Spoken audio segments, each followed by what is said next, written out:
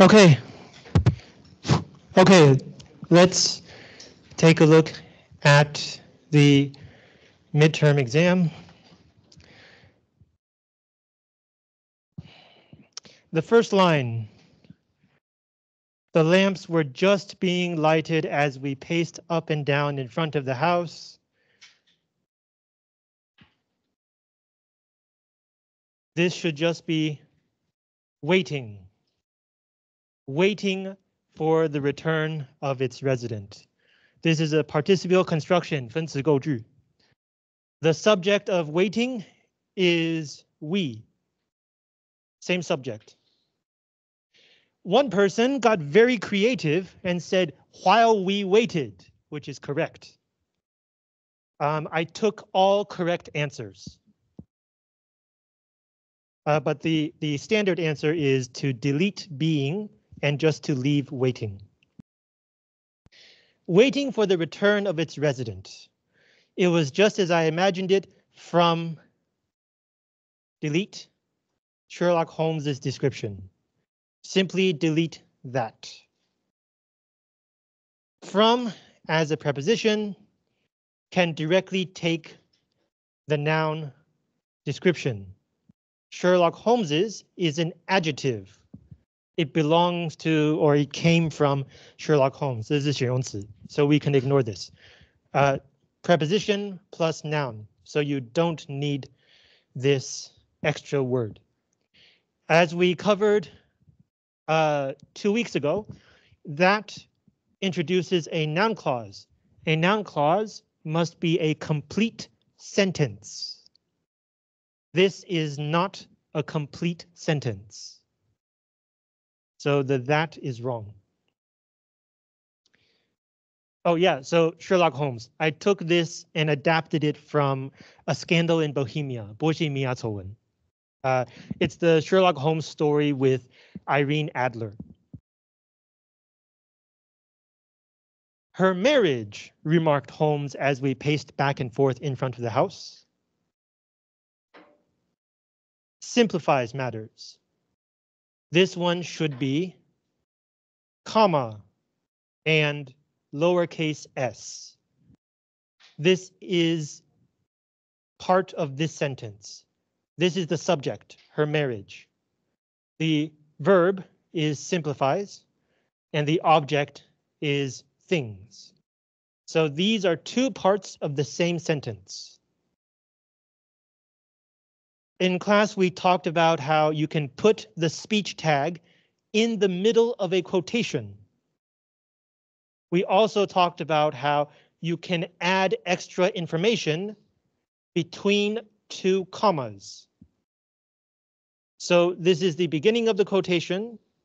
This is the speech tag. This is the extra information.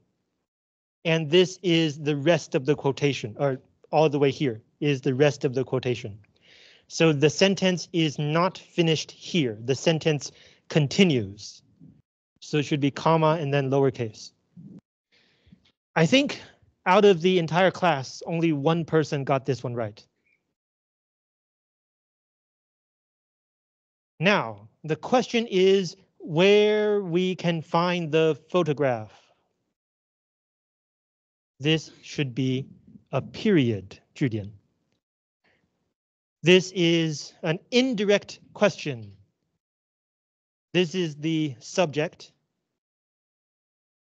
This is the verb. And this is the object. It is a noun clause, means a noun clause introduced by the word where. So um, we can find the photograph must be a complete sentence because it is a noun clause. And indeed, it is a complete sentence, right? We subject can find verb, the photograph object. It is a complete sentence. So the, the sentence is correct. The ending punctuation is wrong. It should be a period. Where, I asked. Take out the comma. If a quotation ends with another punctuation mark, you should not add a comma.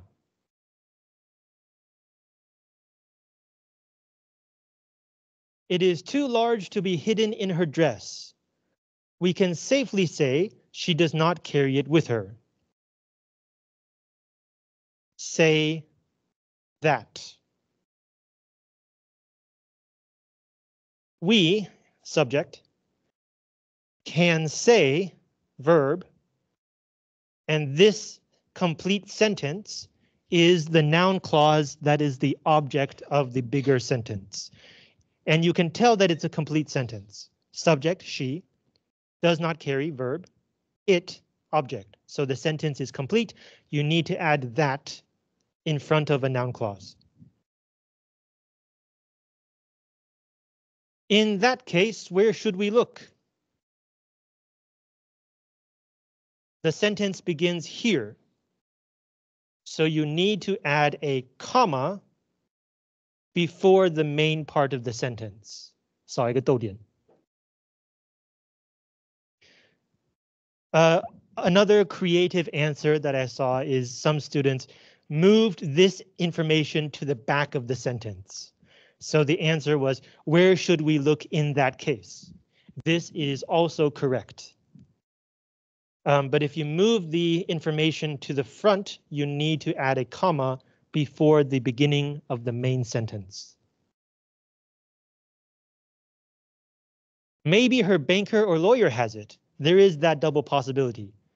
But I do not really think that do not or don't? I think this is probably the easiest question uh, on this exam. Right, when you ask, sorry, when you negate in English, 否定, you must have an auxiliary verb, 需要助动词. If you don't have one, you have to add one.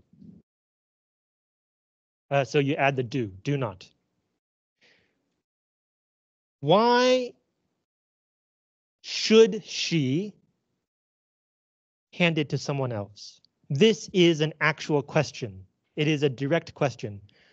Um, so when in English you ask a question, you should move the first part of the verb phrase to the front before the subject. The verb phrase has two words, should hand, or uh, yeah, should hand. So you move the first word, should, in front of the subject here. Why should she? It must be where she can always get to it. It must be in her own house. He concluded. The standard answer is to add a comma in front of the quotation mark. The idea is that this is a complete sentence, so it should end with a period. But this quotation is part of a bigger sentence. The bigger sentence ends with concluded.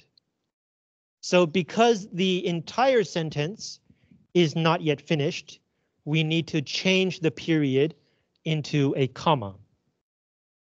Some students put the comma outside of the quotation mark.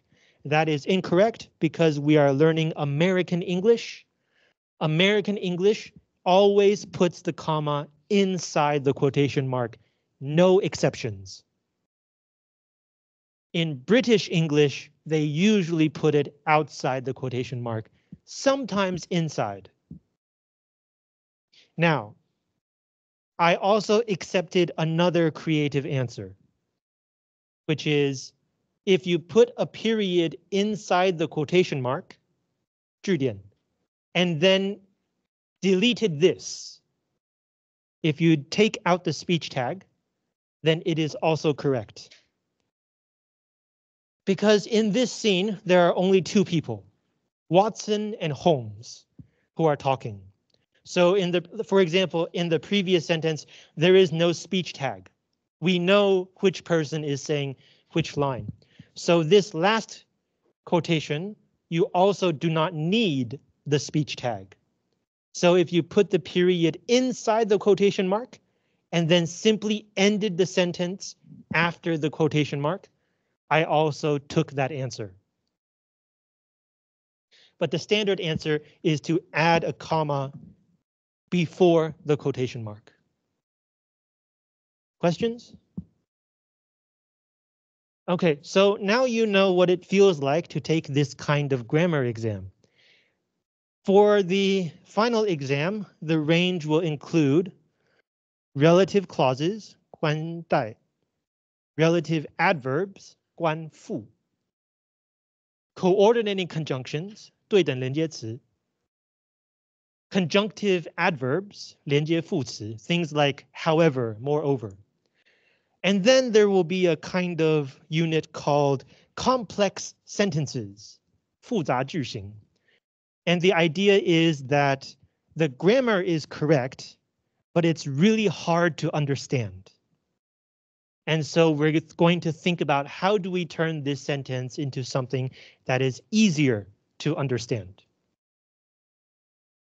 Um, now, you might be thinking, how do you do an exam question on how to make hard sentences easy to understand? And uh, I'm also still thinking about this. So the final exam will mostly, I think, look kind of like this, but there will be a few questions that will be different. Maybe it will ask you to write something. Maybe it will ask you to combine sentences. I'm still thinking about it. But for this exam, I'm sure that after I have explained each answer, you're probably thinking to yourself, dang, I know that's wrong. Why didn't I see it? And that is the key to having good grammar. It's not uh, when somebody tells you it's wrong, you know how to fix it. It's you notice that it's wrong and you know how to fix it. Most of you in the future will have to write in English. I'm guessing a lot of the time you can use ChatGPT. But when you can't, when you have to write something very quickly, or it's something that AI doesn't know how to handle, you have to be able to see if your sentence is correct. Even when you use AI and you need to change some things in the sentence, you need to know whether your changes have correct grammar. That is the skill that this class is trying to help you learn. So you can take the exam back. You can download the clean version from Moodle. You can practice a few times to see whether you can actually find the mistakes. Um, and you can also go back through the handout, or you can go through the new handout I'm going to pass out later, and also practice finding the mistake, because that is the most important thing. Questions? Okay, now some of you might feel like you don't know whether you're going to pass this course. So here are some suggestions that you can do. Uh, first of all, uh, now you know how to better prepare for the final exam. Another thing you can do is um, in this class, attendance is worth 40%. I only take away points if you have an unexcused absence. 旷课才会扣分. Uh, if you have an unexcused absence, I will take away uh, for every week. I will take away six points out of 40. That's not right. 12 points out of 40, which is 15%. Uh, so it's quite heavy. Now, if you do have unexcused absences, you can change that. You can go to the student affairs office and ask to do school service. And for, I think, each hour or maybe two hours of school service, they will turn one unexcused absence into personal leave. 如果要消旷课的话，可以去找税务处说你要做爱校服务， 然后呃，爱校服务会单位换算，会把旷课变成试驾，这样就不会扣到出席率。 Uh, and one more thing you can consider is to do this last chance quiz. It will only open for you after class on week 18. So after the final exam. First of all, I want to make sure you still try your best during class, right? I don't want you to think, oh, I can just take this and I don't have to pay attention. Um, but also, the exam is, or sorry, this quiz is something that you do not have to prepare for. It's a very open-ended kind of question. And the more you pay attention in class, the easier it will be to answer this question. Also, the lower your original score, the harder you will have to work to make up the difference between your score and 60. 呃，就你平常上课越专心，这个到时候这个测验会越好写。然后，如果你原始成绩，你原始成绩越低，你这个东东就要越认真写。Um, so again, this is here just in case. Hopefully you don't have to use it, but it's there just in case. Um, if you think you are going to pass, you can also get a higher score by doing this extra credit assignment. Um, I decided just to open it up. You can do this whenever you want. But if your original score is lower than 60, I will not count this extra credit. Okay, so do you have questions about uh, raising your score? I think with all of these options, you should be able to pass. Okay, so um, if you did not yet get back your midterm exam, I will call your name again before the break. For now, let's move into this week's um, unit. Relative clauses, 关代.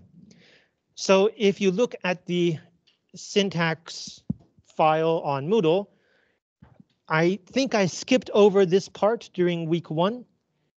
This is on the 30th page. It's called page 168. A relative clause is a way to combine two sentences.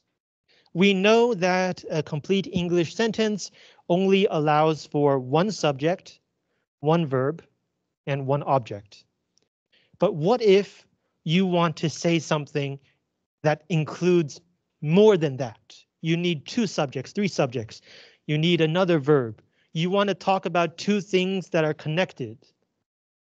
Well, one option is to use a relative clause. A relative clause connects two sentences that have or that share some kind of noun. 两句之间共用一个名词，某一种名词。And you can use that connection to put these two sentences together. This is something that we don't have in Chinese. And so my experience tells me that most students in Taiwan have some trouble learning this. So please pay attention. Because this kind of sentence is very, very, very common in English. For some reason, uh, native speakers of English can just get these sentences. Um, so even if you don't use them, you must be able to understand them. So let's take a look at this example.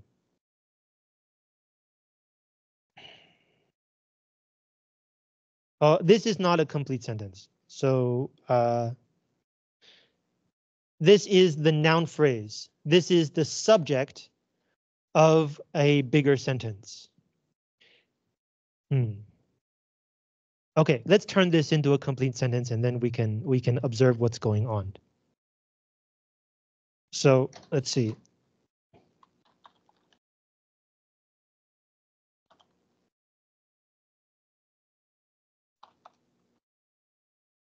What's the guy's name? Hadassah.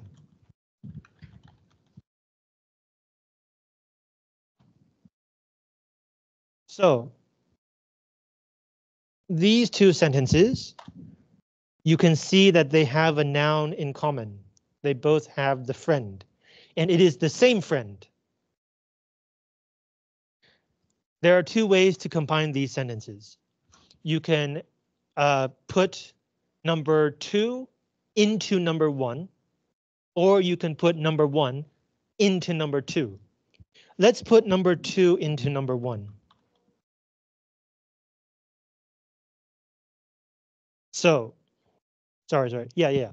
So if we put number two into number one, we start from the bigger sentence.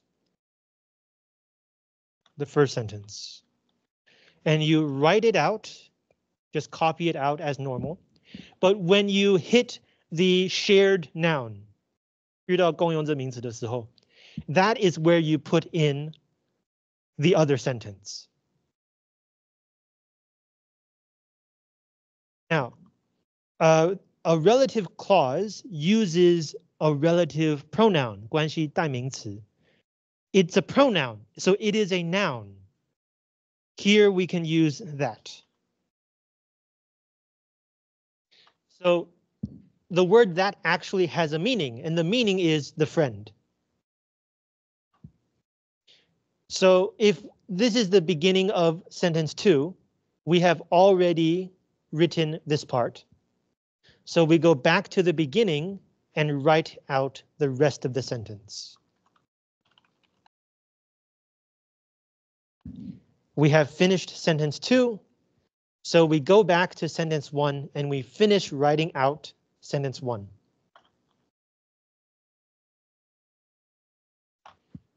And that is a sentence with a relative clause. Sentence one, the friend was not there. Sentence two, Hadassah visited the friend. The friend is this one, visited the friend. Uh, and we put the two words that are the same, we put them together, and we change the second time into a relative pronoun. That's it. This is the basic concept you can think of it as like a a door hinge, 门栓. It's where one sentence turns and becomes another sentence, and then you go back and finish the first sentence. Now, because this example, the noun is a person, so you can also use the word who who is reserved for people. And that brings us back to the syntax page here. Uh, this noun phrase is all the way up to before the verb, right? So this is the noun, the subject. This is the relative clause, which is an adjective. This is 形容词. A relative clause works like an adjective. And then the main verb was not, and then you finish the sentence. So this example is only up to the end of the noun phrase, including the adjective part. The friend who Hadassah visited. So the original sentence, if you remember the C tells us this should be a sentence. Hadassah visited a friend.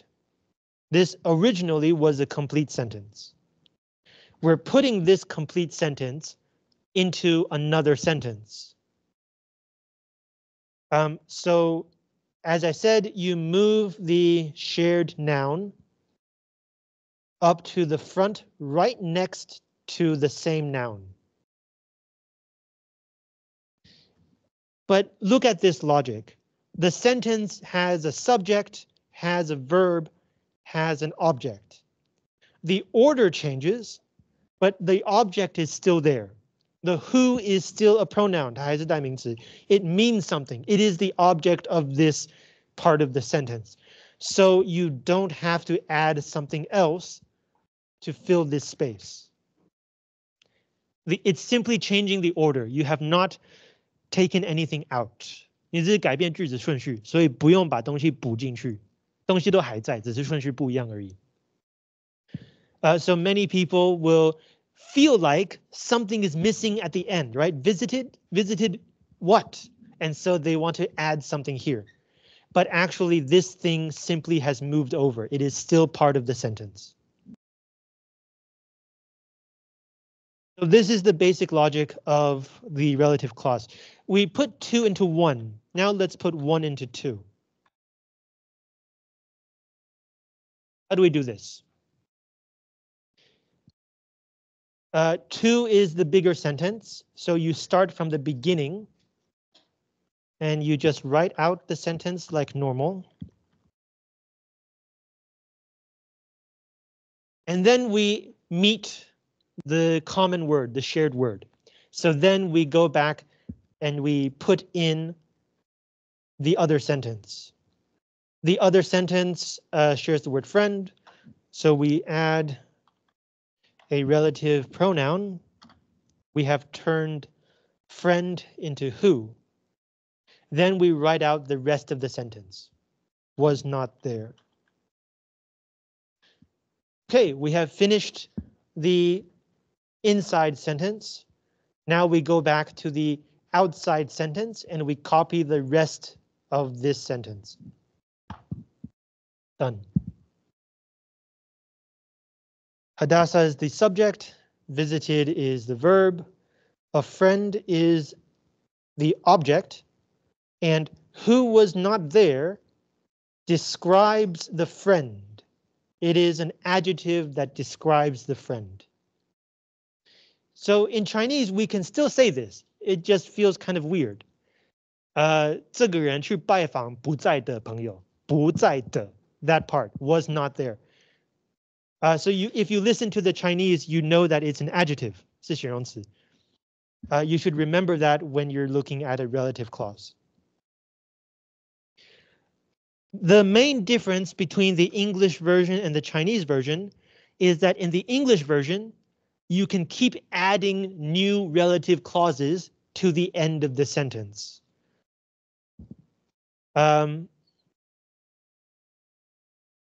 well, this sentence is kind of short, so it's not easy with this sentence. But if you have enough nouns in the sentence, you can keep adding stuff.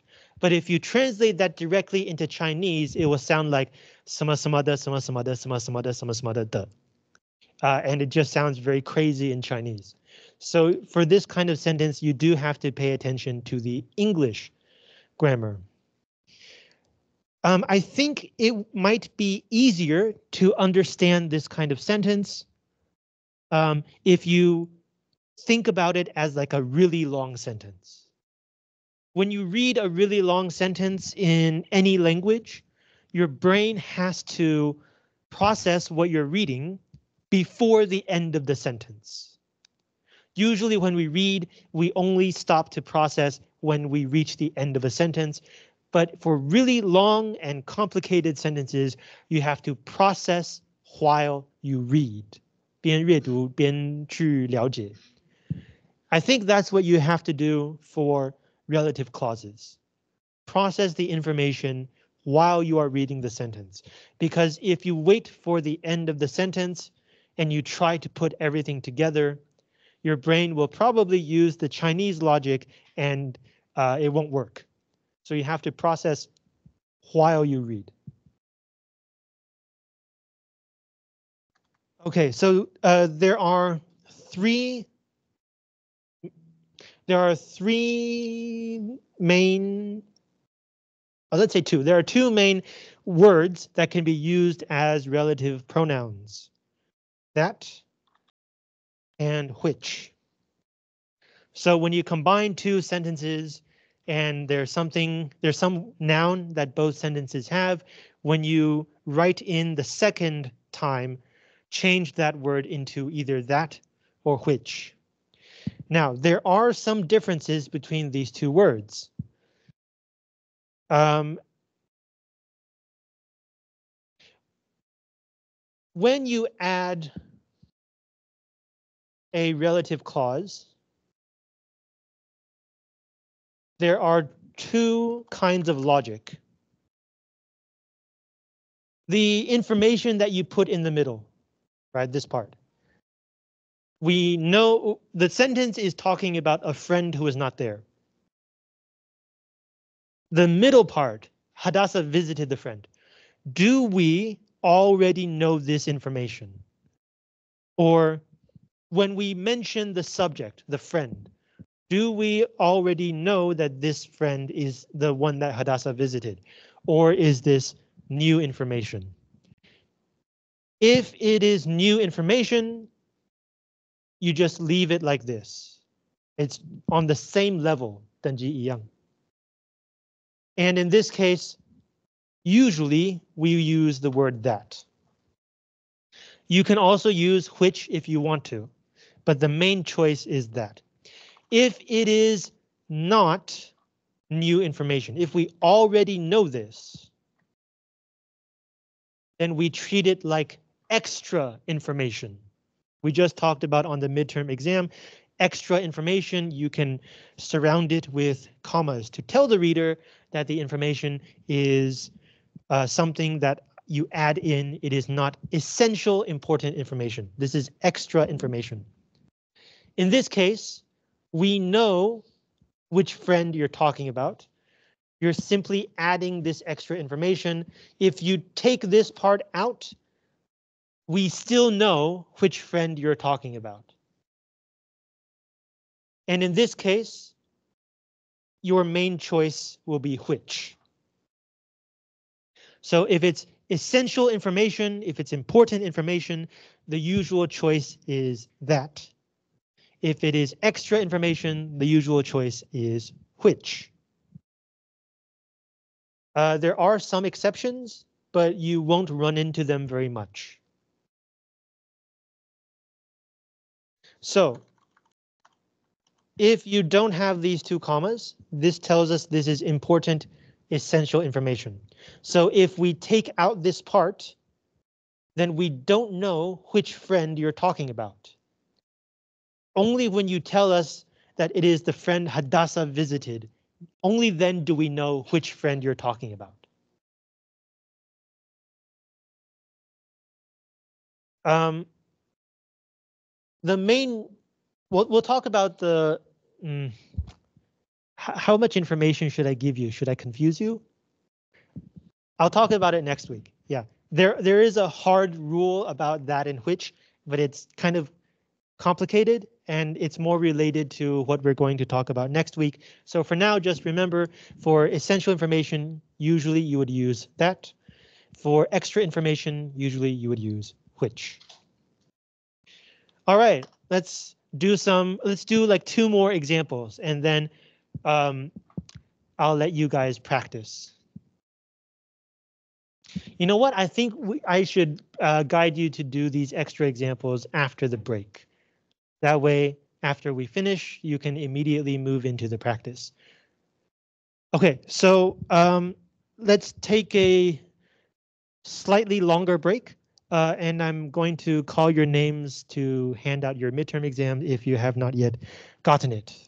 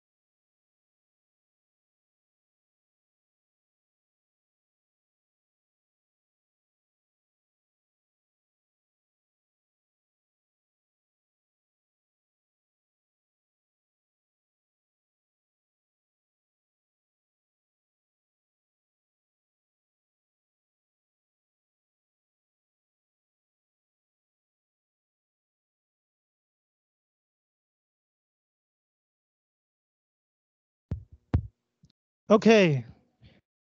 Okay, let's practice some of these sentences. John and I went to the dance. The dance was in Chicago. So if you put sentence two into sentence one, sentence two. So you begin with the dance. The dance is the shared noun. So you put in a relative pronoun here.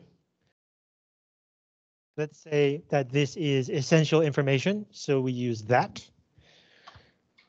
Then you copy out the rest of the first sentence.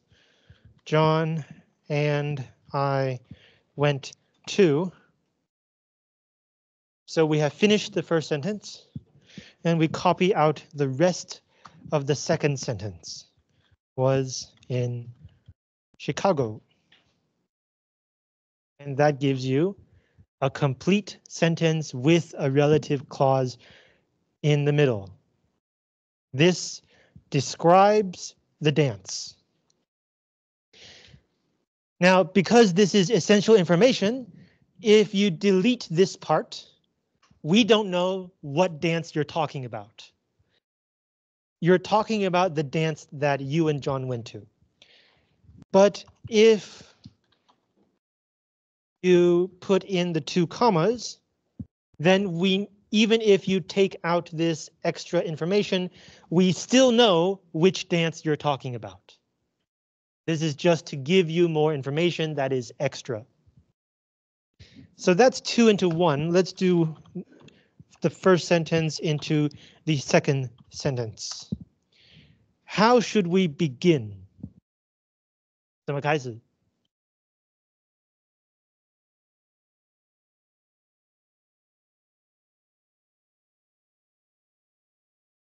方向棋不是，呃，第三横排第二纵排是谁？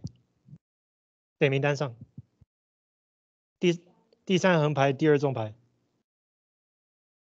林夏安，How do we begin putting sentence to sorry, sentence one into sentence two? 我们把这一句放进这一句，所以要怎么开始？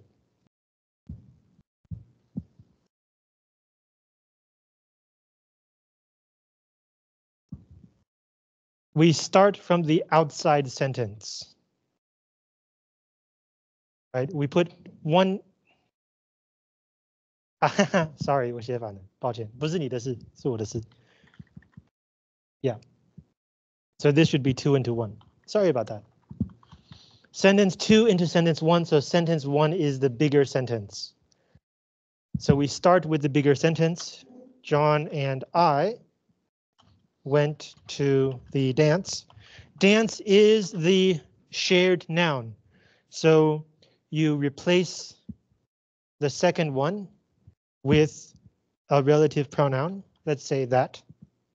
And you continue finishing the inside sentence was in Chicago. Then you go back and you finish the outside sentence. Does that make sense? Good. Um, so again, uh, if this is essential information, if we take this out and we don't know what dance you're talking about, you do not add a comma.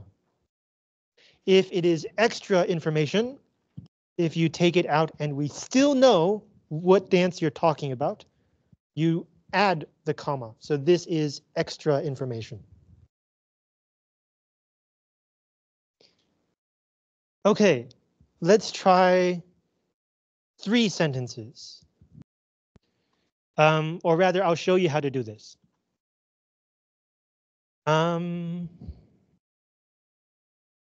so of three sentences, there are a number of different ways to combine them. Let's look at the shared nouns. 共用的名词是什么? Winter clothes, winter clothes, and then you have price, and price. So we're going to use these words to put these sentences together. here's one way to do this.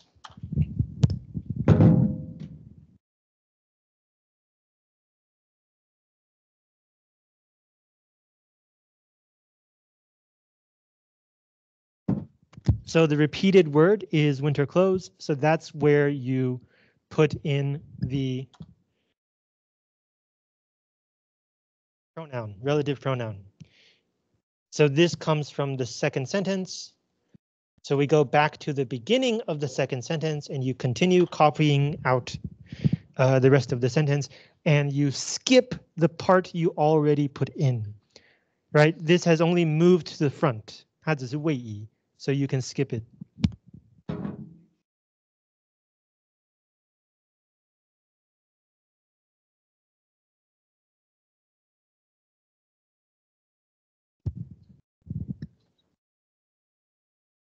Uh, and again, we meet a word that is repeated. Um, when you put in the third sentence, it takes a little bit of logic. This price is low. It is usually high. So this is unusually low.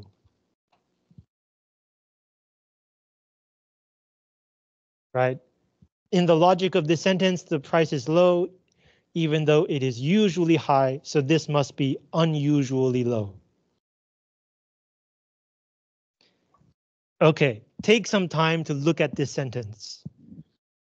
When winter came, we put on our winter clothes, which our friends had brought us to buy at a low price, which was unusually low.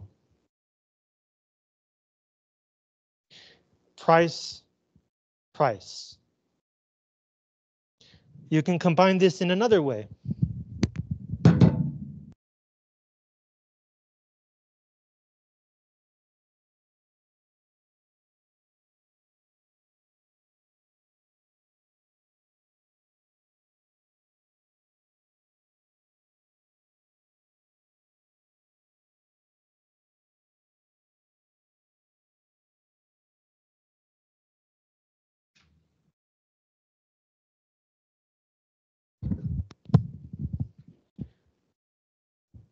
So this begins with the second sentence.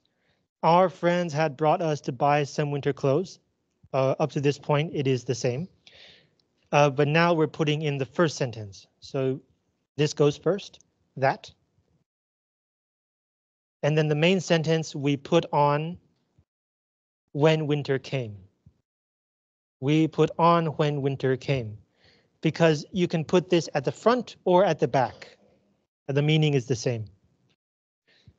After we finish writing out the first sentence, we go back to the bigger sentence and we finish writing this out at a low price and then price and price. Uh, so that's this price becomes that. Uh, was unusually low. Now you can also, as I said, move the when to the front.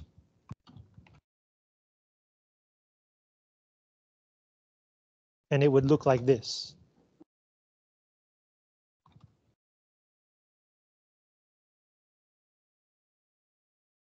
Right, when winter came, comma. So when winter came, comma. But because this is not the beginning of the sentence, you have to separate it from the rest of the sentence. So there also has to be a comma here. Because you have moved this from its original place, you have moved it somewhere else. So you need to use those two commas to tell the reader this part has been moved.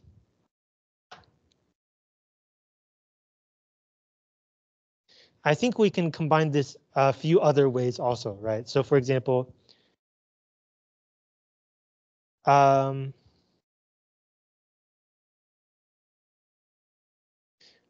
the as I don't want to use the brain power, but like these are the few main ways you can combine these three sentences. Think about how you would translate this into Chinese. Our friends had brought us to buy some winter clothes that we put on when winter came at a price that was unusually low. I don't think you can translate this into one Chinese sentence uh, without making it very, very confusing, right? Something like uh, uh, 我们朋友带我们去用非呃异常低的 价格买一些冬天来时我们穿上的冬季衣服。Very weird, but it makes sense in English. Uh, and that is the important point about relative clauses. It really is English logic.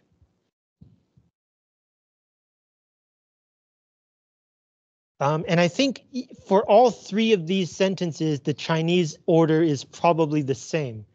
But because in English we are combining sentences using different hinges, uh, so the order can be a little bit different, but the meaning will be the same. So how do you decide what should be the outside sentence and what should be the inside sentence?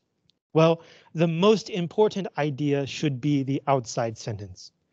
The sentence that you put inside becomes an adjective, 变成形容词, so it looks less important. The most important sentence should be the outside sentence. So that's the uh, those are the main ideas about relative clauses. There are two variations that uh, you should know about. The first one is called a cleft sentence, 强调语句.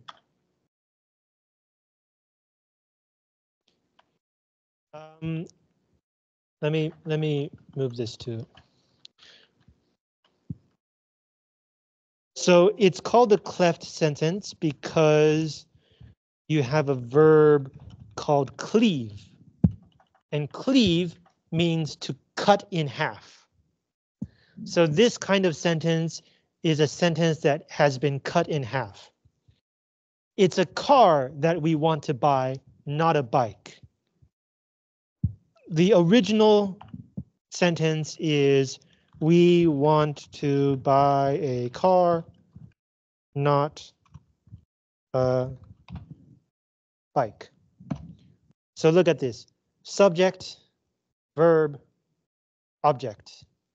But after doing this weird thing, you put the object in front and then the subject, sorry, subject, and then the verb. This kind of sentence emphasizes the thing in between the it's and the that.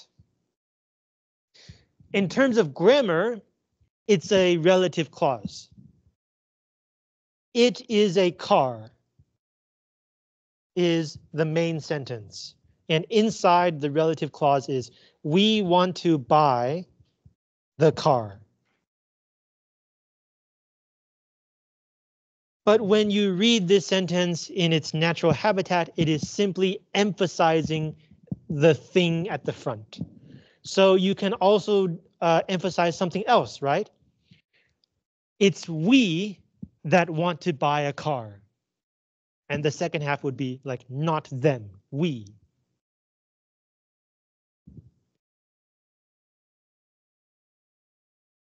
Uh, in Chinese, uh, instead of saying 我们要买车, you would say 我们要买的是车. You're emphasizing that part of the sentence. Right? Uh, this is an adjective, right? 所以我们要买的是车. It's exactly the same as in Chinese. Uh, and then one last variation. This is something that many Taiwanese students get wrong. um, if you want to say like okay so if you have a sentence in chinese that begins with yo who is mayo this one says male. but we don't use the word have we use the word there is or there are depending on singular or plural nobody is singular danshu so we use is there is nobody male. now in this sentence, the word there is simply for grammar. It does not have a meaning. 它是语助词无意. And you can tell that there's no meaning because if you want to say 那边没有人, you would say there is nobody there. This one is a place, but this one is just for grammar. Now, you can also use this kind of sentence to emphasize something uh, and you and it turns into a relative clause. So this sentence, there is nobody who wants to take another test. The first sentence, the main sentence, there's nobody. The relative clause, nobody wants to take another test. And you put this sentence into this sentence. So in Chinese, this is something like, uh, 没有想要再考一次试的人. So here you are emphasizing the fact that there is nobody. Otherwise, you can simply just say nobody wants to take another test. Right. By putting uh, the by turning the first part into a there sentence and then finishing the sentence with a relative clause, you are emphasizing this part. The logic is the same as the cleft sentence. 跟强调语语句是一样的逻辑. Now, uh, up to this point, do you have questions? Okay, I have one more thing to tell you. Sometimes you will see a sentence like this.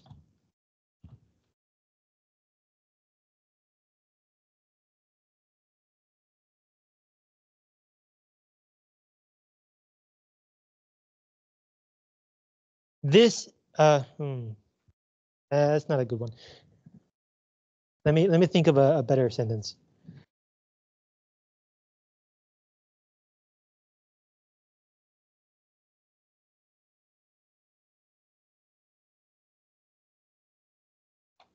Yeah, okay, so there's a that here. But look at the part of the sentence after the that we can learn grammar so well. We is the we is the subject. Can learn is the verb. Grammar is the object. Is this a complete sentence? 的句子完整吗? Yes, it is. So this that is not a relative pronoun. 它不是关代, it is a noun clause. 它是开名词子句. So this, that, this word has no meaning. It is just for grammar. In fact, this sentence means exactly the same as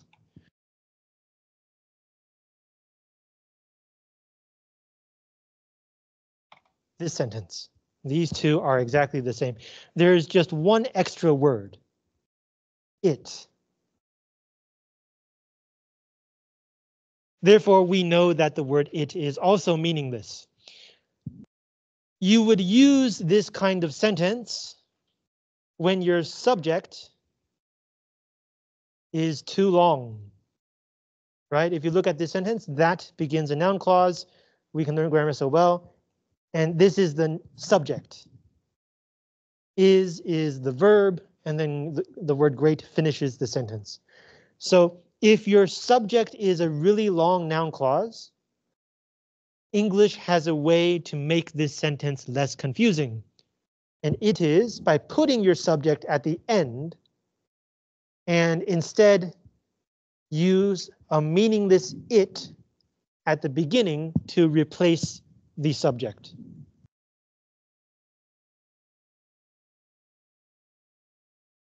Um, so in Chinese, we call this 虚主词. It doesn't mean anything. The, the is is still here. Right? The is is the main verb. But the subject is actually here. Uh, and remember, this is not a relative clause, it is a noun clause.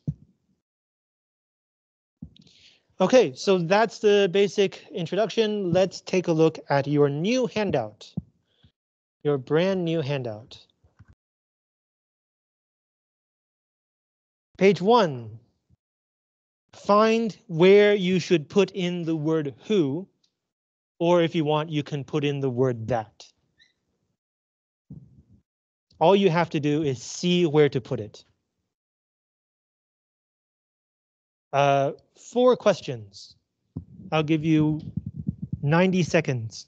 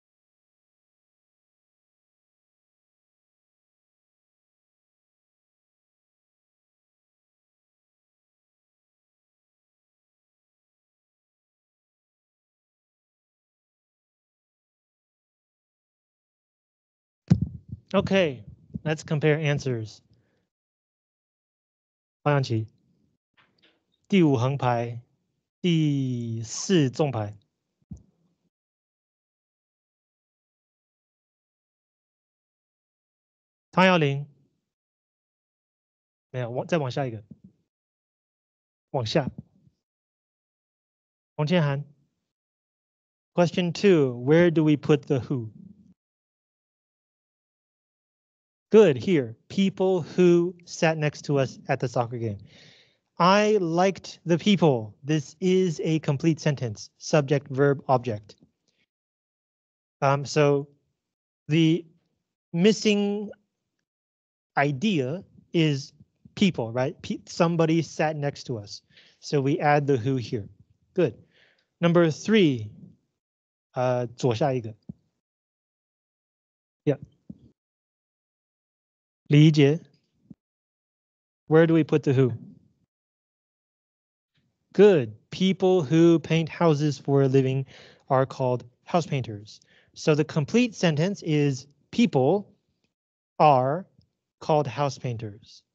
And in the middle, we get the idea of who these people are.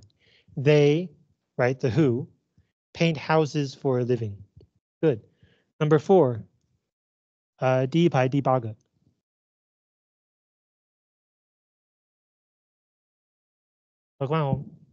Yes, number four, where do we put the who? Here, I'm uncomfortable around married couples who argue all the time. Good. Uh, so this is a complete sentence, right? I'm uncomfortable around married couples. Uh, and then we get more information about which kind of married couples, the kind that argue all the time. Good. Uh, 第八排第一个。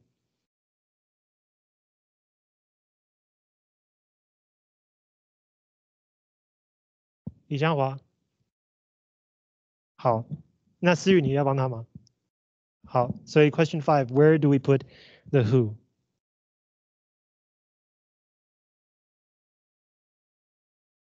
Good. Uh, while I was waiting at the bus stop, I stood next to an elderly gentleman who started a conversation with me about my educational plans. Uh, so yes, this is a complete sentence and it finishes the sentence. The second or the inside sentence is this person started a conversation with me, blah, blah, blah. So we use the word who to connect these two. Good job, guys. Next. Um, uh, let's skip this one. 这个我们下次做好了。 Page two.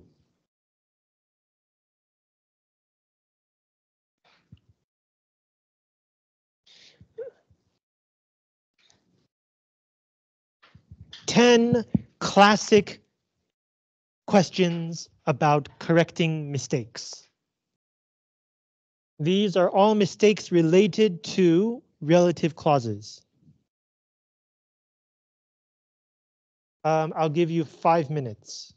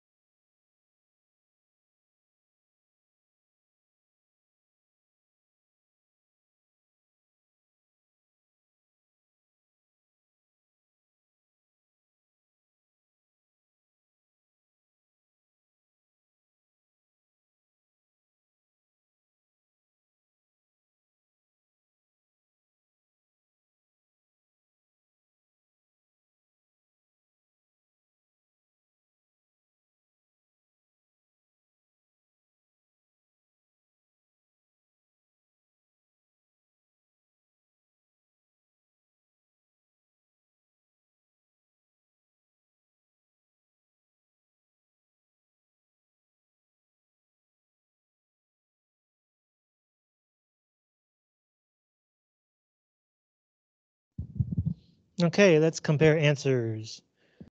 Question one, 黄淑慧在吗？呃，李尚华。Question one, where's the mistake?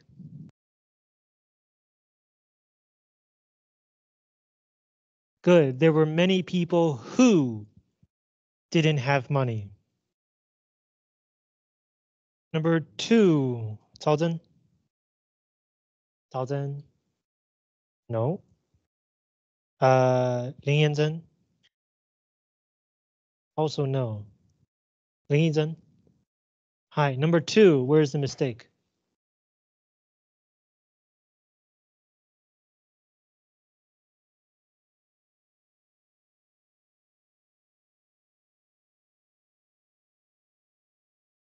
So I enjoyed the book.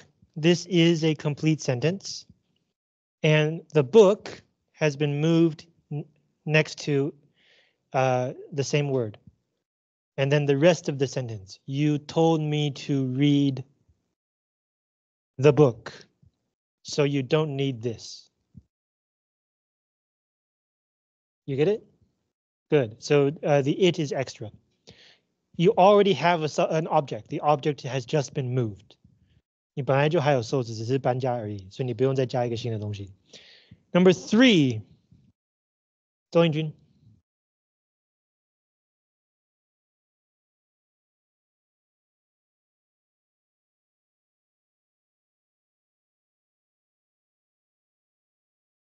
Good, yes. Who is already the subject? The it means the man. So you don't need to add another subject. The he is extra. I still remember the man who taught me to play the guitar when I was a boy. Good. Number four. Uh, Jasmine. Gone again. 刚才看到. San. Yes, number four.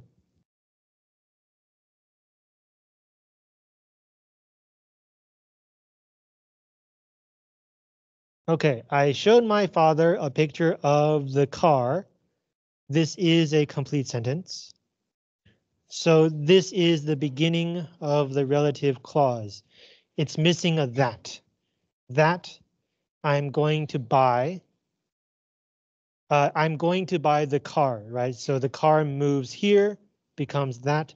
So this it is extra. So the car that I'm going to buy as soon as I save enough money. Does that make sense? Good.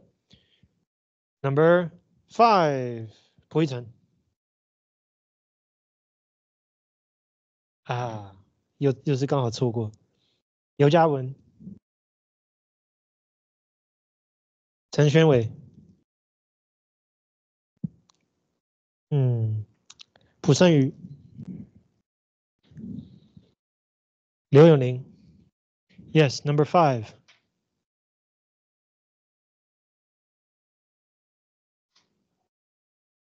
Good. The woman who I was talking about, right? You have two abouts. The first one is extra. Good. Number six, Lai Wenxing.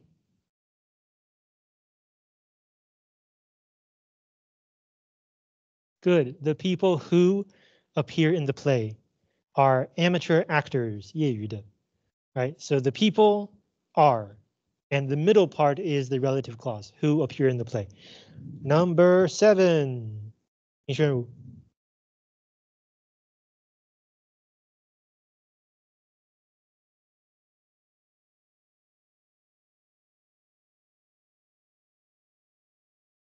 Okay, very close. I don't like to spend time with people who, that's correct, but this who means people. People is plural, so this should be lose. Who lose their temper easily. Make sense? Good. Number eight.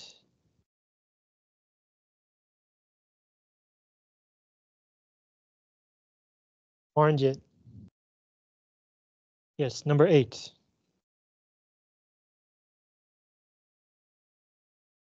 Uh, he took pictures of people. Okay, this is one part. Who? Do we need to change anything else?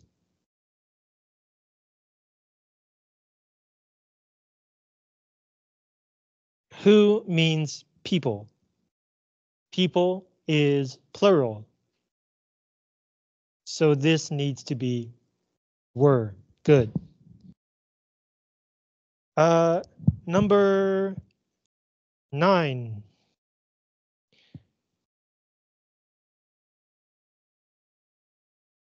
Uh, 秦一杰. Yes, number nine.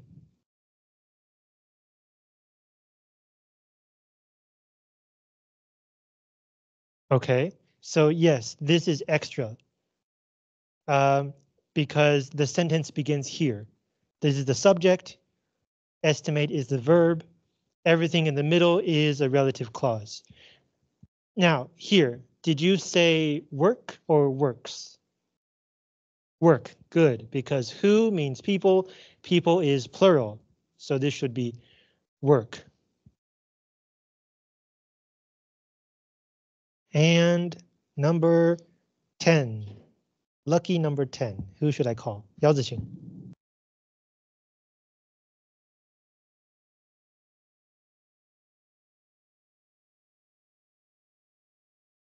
Okay, so this begins with in, and then there's a comma.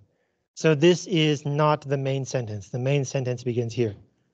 Subject, an old man.